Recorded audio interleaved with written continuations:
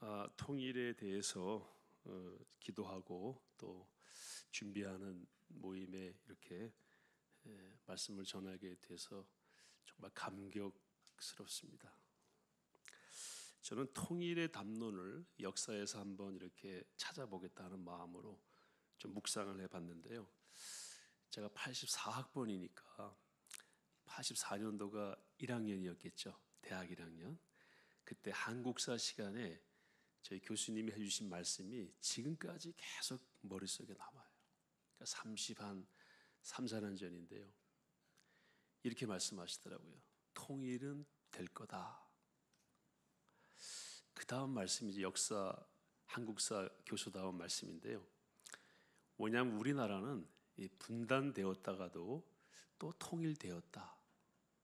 여러분 아시는 통일이 어떤 통일이죠? 삼국 통일이죠. 그래서 그, 그, 어, 말씀을 제가 계속 머릿속에 이제 넣고 통일하면은 그 말씀이 참 역사적 낙관주의죠. 역사는 그렇게 간다는 거잖아요. 또 과연 그럴까 하는 생각을 또 해봤어요. 여러분 삼국 통일이 676년이죠. 한 230, 40년 지난 다음에 진성 여왕 통일 신라의 진성 여왕 때 크게 흔들리기 시작합니다. 그래서 전주, 개성, 그리고 원주. 저는 강원도 사람으로서 원주에서 과연 그런 일이 있었을까 하는 일이 이런 도시들에서 발생하는데요. 반란입니다. 나라가 너무 어지럽고 경제적으로 어려우니까 곳곳에서 반란이 일어납니다. 그 반란을 주도했던 사람 중에 한 사람이 견훤이에요. 한 사람이 국례입니다. 견훤은 전주에서, 국례는 어딜까요? 개성에서. 그래서 나라를 다시 쫙 갈라놓습니다. 여러분 그렇게 생긴 나라가 어떤 나라죠? 후 백제, 후 고구려. 그래서 후 삼국 시대가 또 만들어집니다. 역사에 의하면 통일됐지만 역사에 의하면 또 분열됐어요. 30년쯤 지나서 이제 왕건이 왕건이 개성을 중심으로 고려라는 나라를 세우게 되죠.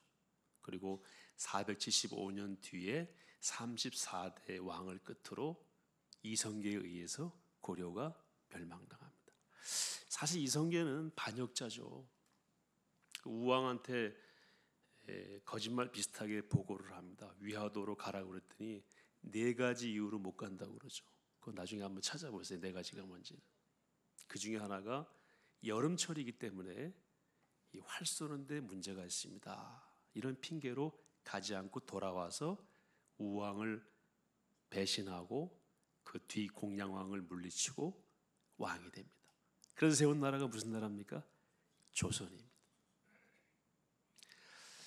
조선은 또 어떤 나라일까요? 한번 생각해 봤습니다. 조선은 그럼 어떤 나라일까?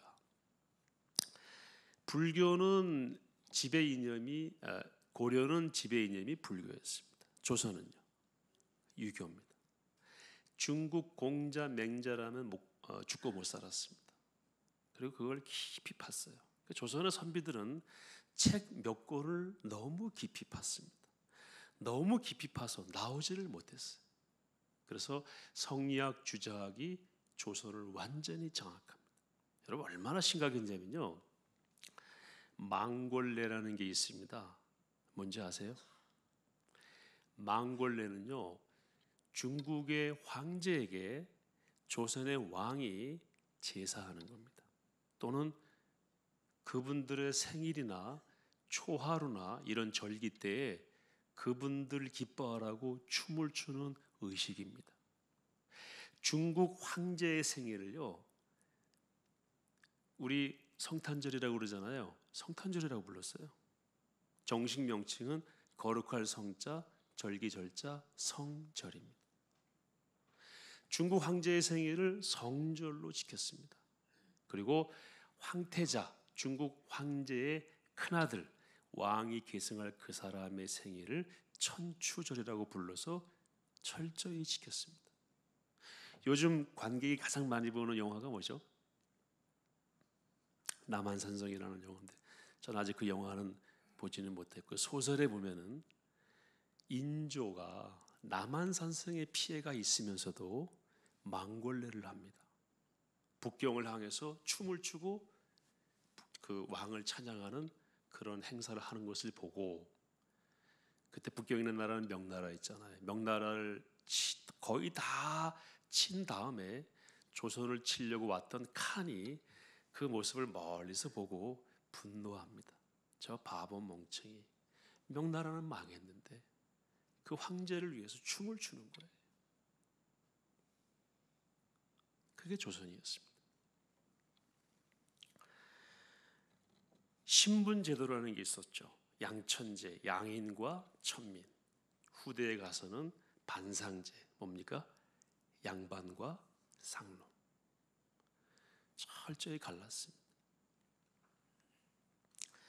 임진왜란이 일어나 가지고 1392년에 조선이 세워졌는데 200년 뒤에 큰 국난을 맞이해 1592년에 임진왜란이 벌어졌는데 요즘으로 말하면 청와대의 비서실이 승정원이었습니다. 조선 시대에는 그 승정원의 장 비서실장이 도승지가 직책인데 전쟁에 나가서 나라가 난리가 났는데 어머니가 돌아가셨다고 사표 내고 집으로 갑니다. 요즘 말로 이게 나라냐라는 거죠. 그리고 당시 왕이었던 선조는 우리가 명나라의 내부하자 안내자에다가 무슨 부서할 때 붙자인데 이건 무슨 뜻이냐면요. 명나라의 식민지가 되자. 그런 명나라가 우리를 지켜줄 거 아니냐.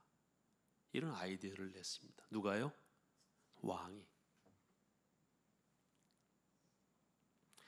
그리고 충성스럽게 일본군과 싸우는 이순신은 어떻게 했습니까? 옷을 벗겨서 백의종군하게 했어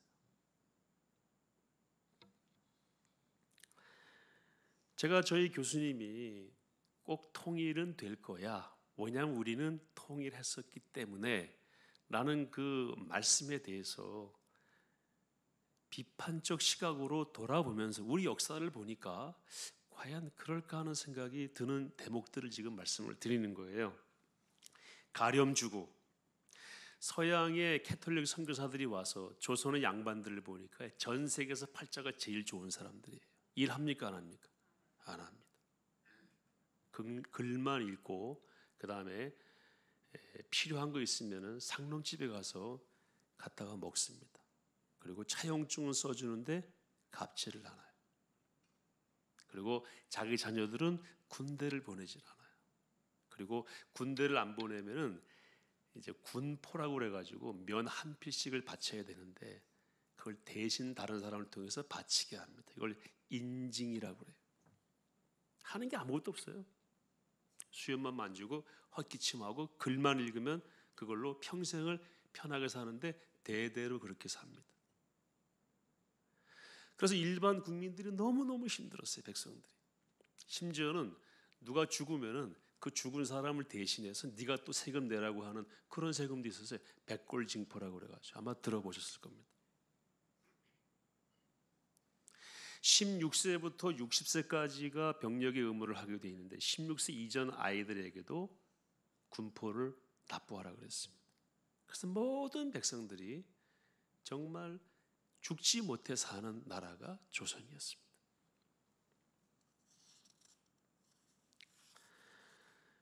그래서 세금 안 내는 방법이 뭐였냐면요.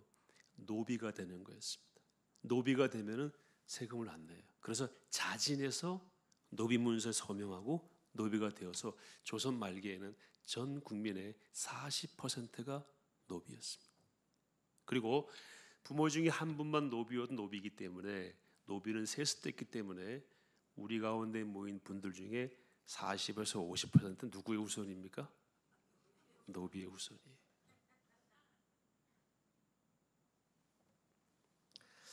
제가 독일을 한번 생각해 봤어요. 독일은 1648년에 30년 전쟁이 끝나고 나서 나라가 해체가 됩니다. 분열이 되는 거예요.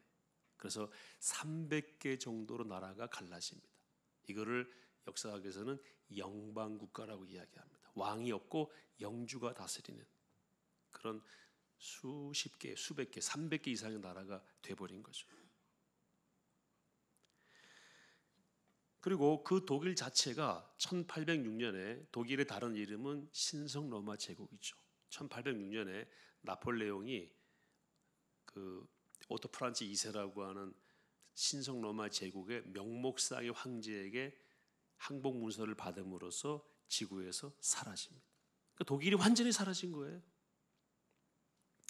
그래서 쉴러라고 하는 그 당시 극작가가 이렇게 말했다고 합니다. 독일은 어디에 있는가? 독일이 어디 있는가 지금? 그것을 찾을 수가 없구나. 여러분 잘 아시는 괴테가 이렇게 말했다고 그래요. 독일이라 부를 수 있는 단 한 치의 땅도 없구나. 독일은 어디에 있는가? 제가 그 독일에 가서 보니까 프랑크푸르트가 레모 광장이라고 하는 곳 거기 옆에 괴테의 그 생가가 있어요. 거기 가서 보니까 괴테가 로마 시내를 멋지게 그린 그림이 있더라고요. 괴테가 그림도 그려서 잘 그렸거든요. 제가 이 설교를 준비하면서 아 괴테가 왜 로마를 기웃거렸는지를 알겠더라고요. 그 당시 독일이 있었어요, 없었어요? 없었어요. 그런 상태로 쭉 가다가 어떻게 하면 이 독일을 하나로 만들 것인가 하고 고민하던 끝에 나폴레옹이 멸망한 다음에 1830년대쯤 돼가지고요 국민들이 마음을 모아서 300개의 국가를 30개 정도로 줄입니다. 그러니까 통일만 했다는 거죠. 작은 나라도 합쳐가지고. 그래서 그 중에 가장 큰 나라가 여러분 잘 아시는 프로이센이었습니다. 프로이센 나중에 그 영주가 누구냐면 비스마르크. 이 사람 나중에 영국을 저 독일을 통일하는 그런 사람이 됩니다. 그런데 그 당시 이 30여 어, 개의 그 영방 국가로 재편이 됐지만 이 관세라는 게 있어가지고 물건을 예를 들면은 서초구에서 만들어서 용산구에 팔려면은 뭐가 뭐를 내야 돼요? 관세를 내야 되는. 그래서 이것이 저 청량리층 가면은요 100원짜리가 1000원이 되는 거예요. 이러면 안 되겠다 해서 통일 이야기가 그때부터 다시 시작했대요. 그래서 여러분 잘 아시는 아마 기억이 날 거예요. 관세 동맹을 맺고 관세를 철폐하면서 경제적으로 일단 하나가 됩니다. 그러고 나서 1648년에 나라가 300개로 나눴다고 그랬잖아요. 그 200년 뒤인 1848년에 드디어 연방 의회를 만들어요. 형식적으로 통일을 이룬 것입니다. 그래가지고 오다가 1차 대전을 지나고 2차 대전을 지나면서 또 독일이 어떻게 됩니까? 나눠지게 됩니다. 동독과 서독으로 나눠지게 되죠. 다시 이 나라가 1989년, 90년에 통일이 되잖아요. 제가 그런 과정을 쭉 보면서 야 독일이 통일됐구나. 제 책꽂이에는 독일 통일에 관한 책이 국내에 있는 책은 거의 다 모아놓고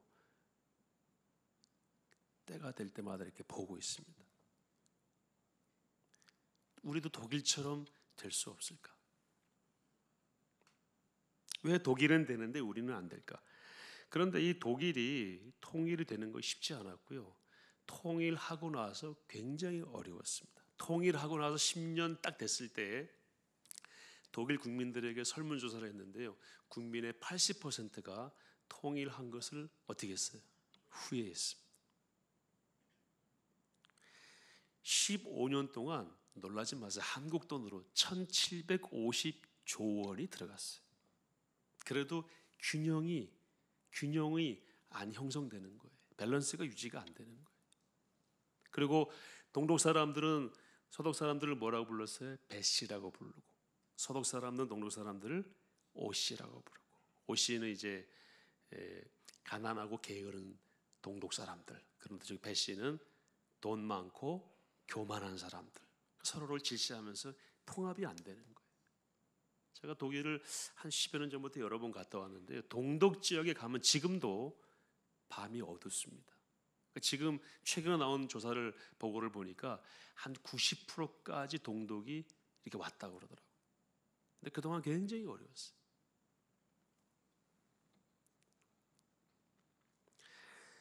어, 소독이 얼마나 많은 돈을 썼냐면요. 제가 몇 가지 사례를 알, 말씀드릴게요.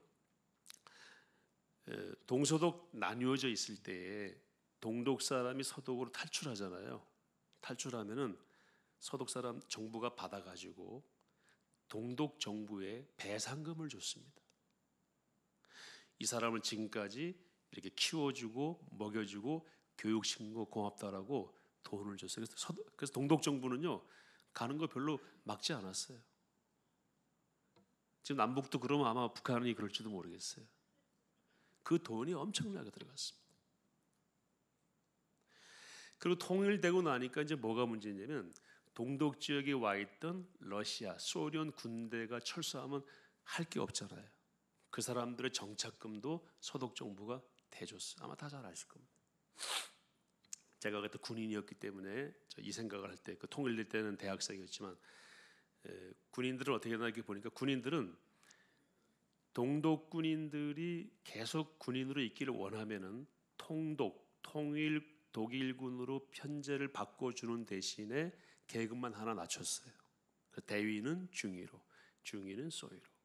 다 받아줬습니다. 거기에 엄청난 돈이 들어갔습니다. 그래서 들어간 돈이 얼마라고 15년 동안에 1750조 원이 들어간 겁니다. 그렇게 쏟아 부어도 균형을 못 맞추고 10년쯤 됐을 때에는 통일을 80%가 후회했다. 통일은 굉장히 어려운 것입니다. 예멘도 통일된 다음에 다시 분할됐다가 또 다시 재통을 됐지만 지금도 갈등이 많습니다. 베트남은 통일 이후에 한 30년 동안 어렵다가 요즘에 와서 두각을 나타내고 있죠. 통일은 비용도 많이 들고 그 이후에도 굉장히 어려운 얘기입니다. 그러면 우리는 통일이 될 수 있을까 하고 제가 한번 생각을 해봤어요. 동독 서독은 우리보다 훨씬 짧은 기간 동안 분단되어 있다가 통일이 됐습니다. 우리는 지금 70년입니다. 내후년이면 70년이죠, 목사님. 분단 70년 아니 73년. 예. 그러니까 태어나신 분이 돌아가실 때까지 그 시간이 지난 거예요. 제가 개인적으로 통일 문제 고민하고 묵상하던 끝에 내린 제 개인적인 결론은 어렵지 않겠는가. 왜냐하면은 우리 내부에 그 역량이 없습니다. 어떤 역량이냐면요. 하나 되는 역량이 없습니다. 우리끼리 싸우는 데는 세계 챔피언이에요. UFC 파이터 보다 더 잘 싸웁니다. 우리나라가 800 여해 외침 받았다고 그러잖아요. 한 번도 다른 나라를 쳐본 적이 없다. 그 위화도 해군으로 그거 한번 하려다가 말았잖아요. 여러분 다른 나라를 치려면은 이건 그냥 순수하게 군사적으로 말씀드리는데 다른 나라를 치려면은 내부 역량이 하나로 모아지지 않으면 절대 못 칩니다. 여러 가지 해석이 가능하지만 우리는 한 번도 그런 적이 없어요. 조선일보가 있으면은 한국일보가 있어요. 그죠? 국민이니까 국민일보가 있고. 제가 검도를 했는데요. 제가 했던 검도는 대한검도입니다. 관장님이 맨날 그래. 우리는 대한검도입니다. 한국검도 아닙니다. 그래. 나눠져 있는 거예요. 전 세계 한인에는 꼭 두 개가 있죠. 무슨 한인에, 무슨 한인에. 우리 내부 역량은 계속 나누는 것입니다. 그래서 우리의 자연스러운 산출물로서의 통일은 어렵지 않겠는가? 언젠가 되겠죠. 삼국이 통일했던 것처럼. 그러나 또 언젠가 나눠지는 겁니다.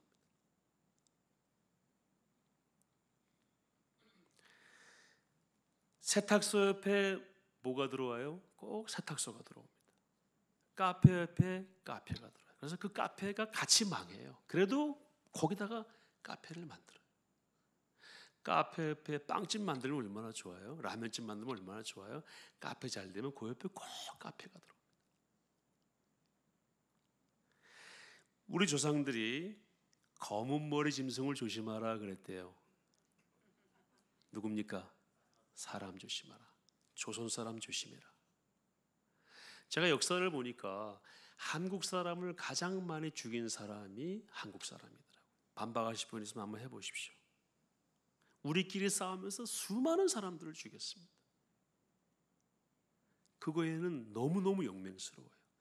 우리끼리 싸운다 그러면 다 버선발로 나와 싸우는데요. 다른 나라와 싸운다 그러면 버선발로 도망갔다고요. 왕도 도망가고 도승지도 도망가고 군대도 다 도망갔어요.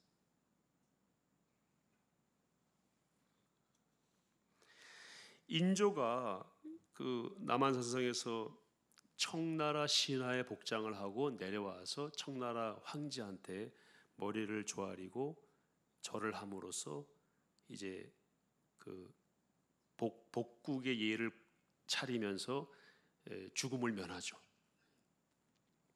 그리고 나와서 이제 볼모로 자기 아들 소현세자를 데려가게 합니다. 다, 내용 다 아시죠? 제가 책을 이렇게 보니까요. 소현세자가 북경에 가서 아 심양 심양에 가서 이제 중국의 문물들을 많이 배워 가지고 왔는데요. 이 인조 아버지 인조가 그 소현세자를 감시하는 사람을 딸려 보내요. 이해할 수가 없어요. 그리고 소현세자가 환국을 합니다. 두 달 만에 죽여요. 근데 사관이 뭐라고 썼냐면은 모든 구멍에서 피가 나왔다. 그리고 시체가 새카맣게 변했다라고만 썼고 독살 당했다는 표현을 쓰지는 않았는데 모든 정황은 아버지가 죽인 겁니다. 그리고 부인도 죽여요. 자기 며느리죠. 낳은 두 아들도 죽이고요. 시종 들었던 모든 여종을 죽이고 따라다녔던 신하를 다 죽입니다. 우리끼리 죽이는 데는 굉장히 철저합니다. 아버지가 한 일이에요. 죽이고 깎아내리는 데는 촛불도 들고 횃불도 들고 숯불도 들고 다 들어요. 남하고 싸울 땐 도망갑니다. 제가 그 남한산성 이야기를 쭉 보니까 영화를 보면 어떨지 잘 모르겠습니다만 영화 혹시 보신 분 계십니까? 예, 그 김상원이라는 사람이 예, 그 예조 판사잖아요. 최명길이 이조 판사인데 둘이 막 싸우는데 서로 왕한테 가서 명기를 목배라고 얘기해요. 소설에 보면 그렇게 나옵니까? 서로 상원이를 목배라고. 그 소설에 뭐라고 나와 있냐면 그러나 둘이 딱 만나면 예의를 갖췄대요. 이 예의가 진짜 예의입니까? 서로 죽이라고 하면서 우리끼리 싸울 때는 최선을 다해 싸웁니다. 그래서 우리가 과연 통일을 이룰 수 있을까? 우리 내부 역량으로 하나 되게 할 수 있을까? 저는 어렵지 않을까? 지금 우리 현실을 봐도 저는 그렇다고 생각되는 부분이 굉장히 많습니다.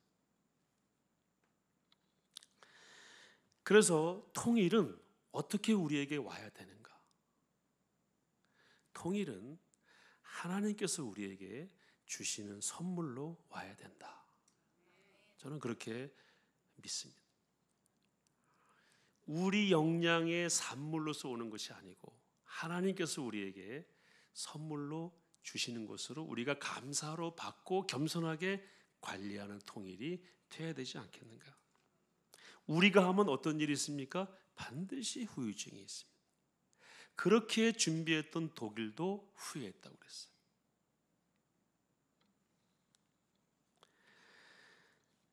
또 통일 운동하는 과정에 보면은요 이미 이미 반통일적인 그런 속성들이 보입니다.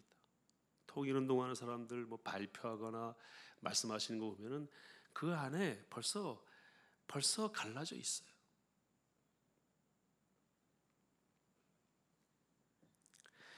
통일은 우리가 한번 우리 민족 자체가 영적으로 새로워지는 새로워지는 과정으로 거듭나는 과정을 통해서 우리에게 하나님이 허락하시는 선물로 왔을 때에 후유증이 없고 그 통일로 다시 우리가 새롭게 꿈꾸는 하나님의 나라를 이 나라에 구현할 수 있을 것이다.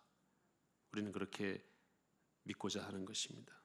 통일의 과정이 우리가 변하는 기회가 되는 그런 결과로 주어지는 통일이 될 때에 하나님의 은혜로운 통일을 맛볼 수가 있다. 그러면서 통일은 저는 냉정히 말씀드리지만 교회만이 또 우리 그리스도인만이 참된 통일을 꿈꾸고 구현해낼 수 있다 이렇게 믿습니다. 안디옥 교회는 우리가 이 시점에서 기억해야 될 세 가지 교훈을 주고 있습니다. 안디옥 교회가 어떤 교회입니까? 안디옥이라는 말이 등장하는 것이 사도행전 6장에 나오는데요. 그 일곱 명의 집사 중에 니골라라는 사람이 있어요. 그 사람이 안디옥 사람이에요. 이 사람이 이제 안수받고 아마 그쪽으로 갔는지 안디옥 교회가 쭉 등장, 등장하는데 스테반의 박해로 흩어진 자들이 안디옥까지 갔다라고 성경에 나옵니다. 사도행전 11장에 나오고요.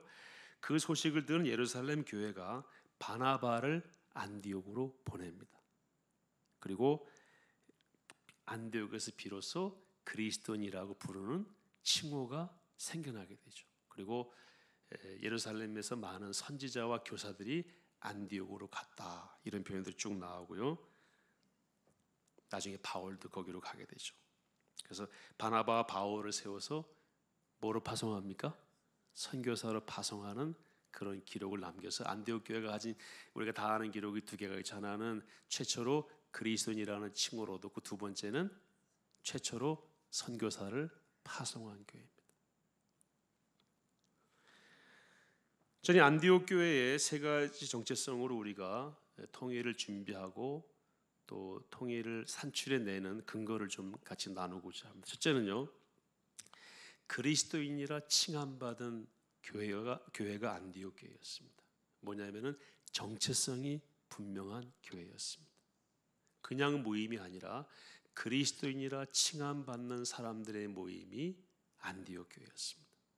그래서 우리가 꿈꾸는 통일, 우리가 꿈꾸는 통일 이후에 우리 사회 이 모든 것은 이 모든 담론들은 그리스도인이라고 하는 정체성을 가지고 해야 한다는 것입니다. 성경적으로 기도하면서 믿음 안에서 두 번째는 이 안디옥 교회는 선교된 교회였습니다. 1절 우리가 같이 읽은 말씀 1절에 보시면 안디옥 교회에 선지자들과 교사들이 있으니 곧 누굽니까? 바나바와 니게르라 하는 시몬. 니게르는 니그로 흑인입니다. 구레네 사람 루기오. 구레네는 아프리카입니다.